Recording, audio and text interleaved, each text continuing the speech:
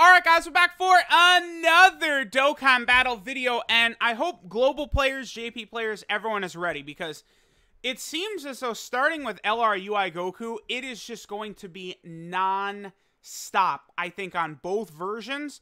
Like, probably until the end of the uh, whatever big download celebration we have in August and September, right? I think October is the next time we might see a little bit of slowness on either version. Um, because JP, for some reason, this Kefla celebration is like one of the better celebrations I can ever remember on JP, right? It seems insane. And then we're going to move into Tanabata. Global is about to go into their anniversary, which is going to be crazy. You know, I've talked with the homie Goresh, and we think that like Extreme Super Battle Road could be bumped up and released during the anniversary for Global, which would dramatically increase things.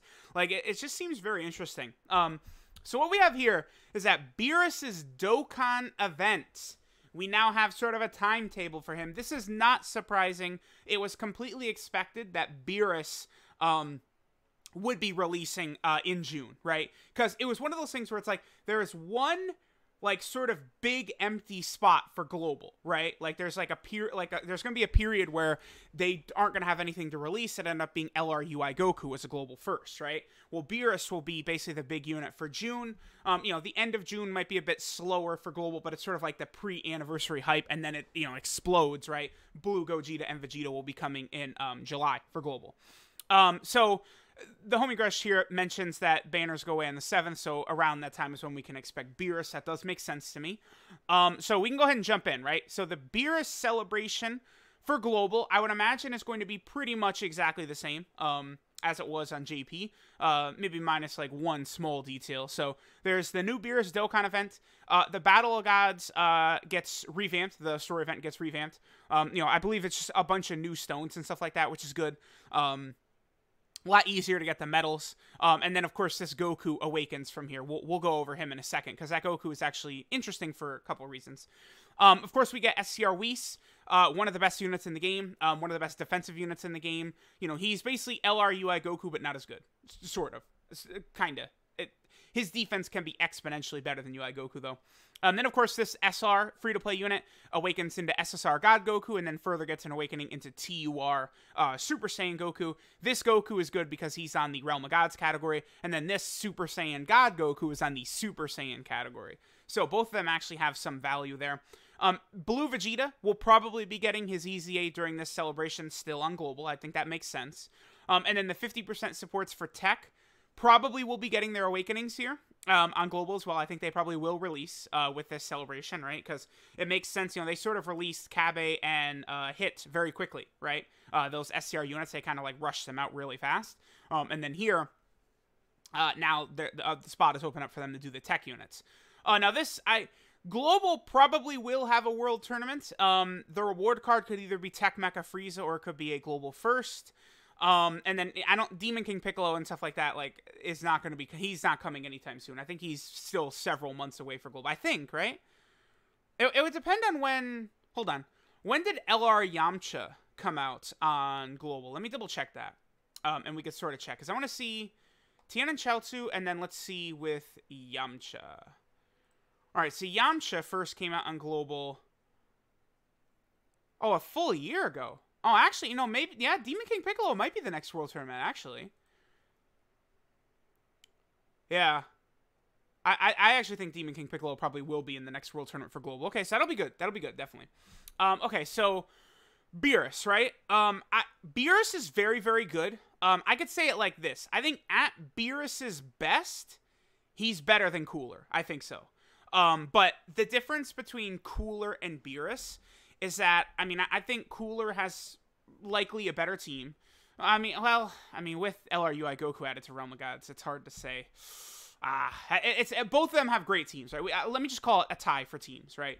Um, now Beerus does stack attack. I mean, which is basically the same thing Cooler does when transformed. Cooler lowers attack on super attack in his base form, though, which is more relevant for Super Battle Road. Um, but the thing about Beerus and Cooler, right, is that Cooler can contribute in many different ways, right? He's a support type unit before he transforms. You know, he does guaranteed crits against pure and hybrid Saiyans. You know, there's just a lot of different like aspects to his card.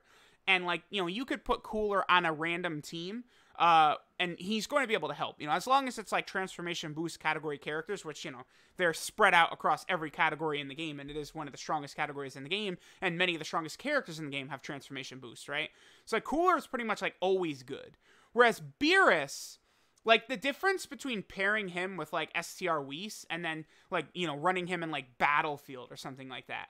Like Beerus doesn't have anyone who can bring out his full power like pretty much on super physical. So for like extreme super battle road um you know for dokkan battlefield you know this beerus it's like he, he's okay it's if you're to use this guy like you need to make sure you're doing what you can to make him really really good um that's sort of the thing with this beerus right and that's why i probably would say cooler is better um even though i think again beerus at his best um, I do think is better than Cooler. So um, let me know what you guys think about that. The one thing about Super Battle Road, though, is you are to be able to use this active skill here, right? Which is very good.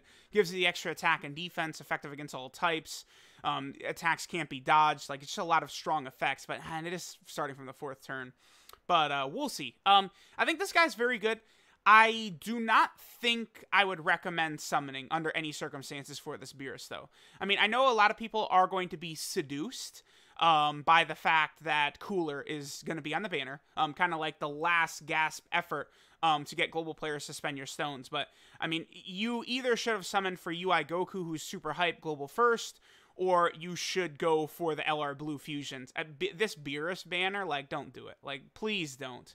I know Cooler is great, but like, if you really want Cooler, get him with red stones, man. Um, although if we're talking about Cooler against like a Dokkan Fest exclusive LR, keep in mind that Cooler is probably going to be far more frequent on banners moving forward um, than we're going to see from like you know Asia LR Gohan or like the Super Saiyan 4s, the Dokkan Fest exclusive LRs, right?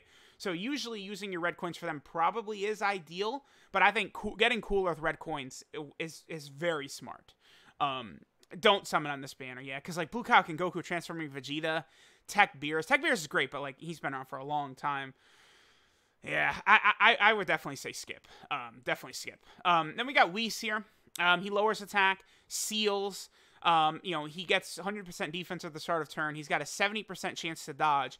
And then every time he dodges, he gets another 50% defense. So he's just so crazy. And then with a Beerus, he gives the 50% attack buff and recovers 10% HP. So, like, Beerus and Whis together recover 20% HP per turn because they're going to share the Connoisseur link. So, at the start of turn, each of them will activate that and heal 10% HP. And then they heal 10% HP at the end of the turn. So, it's just like, that's why, like, again, physical Beerus at his best is better than Cooler because physical Beerus at his best is paired with this guy. And it's ridiculous, right?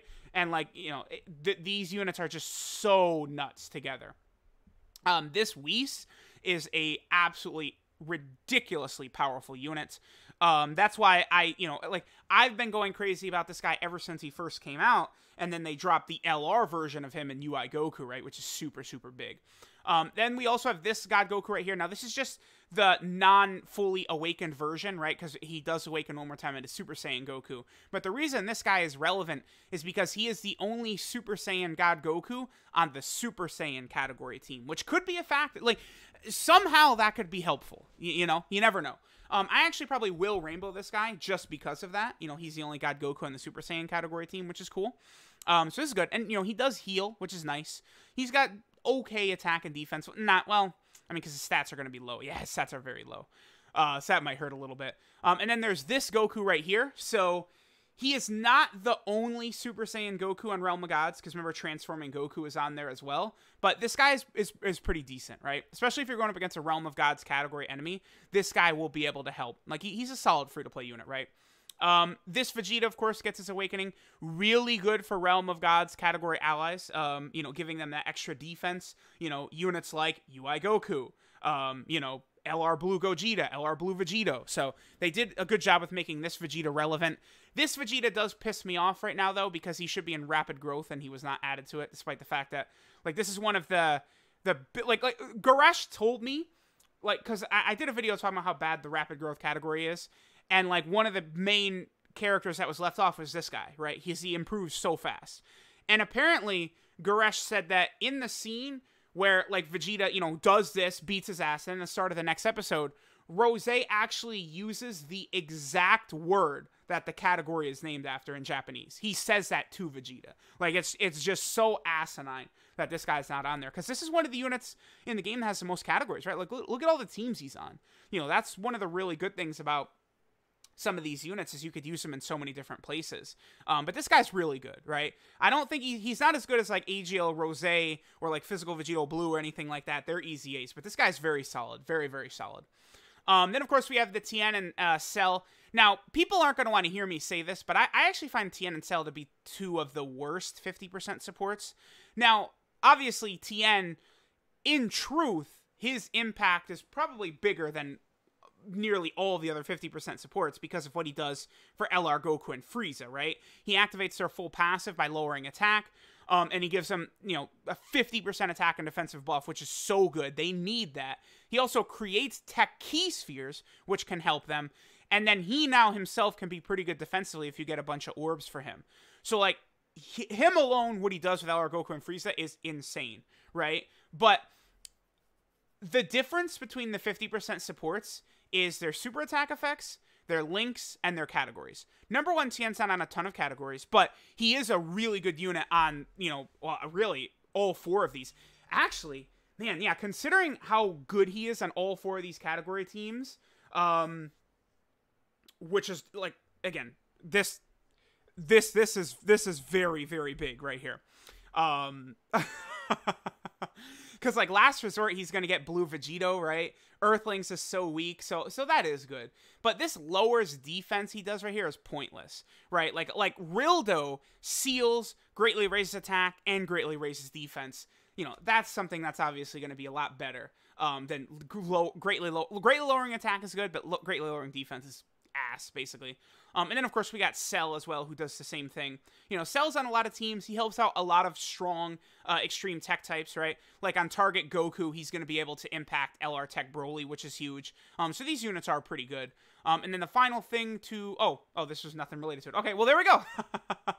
so Beerus is coming to global next. Um, not surprising. I imagine that this is going to be the last big uh, Dokkan Fest exclusive or LR um, that we're going to see uh, before the five year anniversary on Global. So this is the last, you know, decision. Should you summon for this guy? The answer is no. Just get cool with red coins and then move on. Um, but Beerus is very good. So thanks guys for watching, um, and I'll catch y'all next time.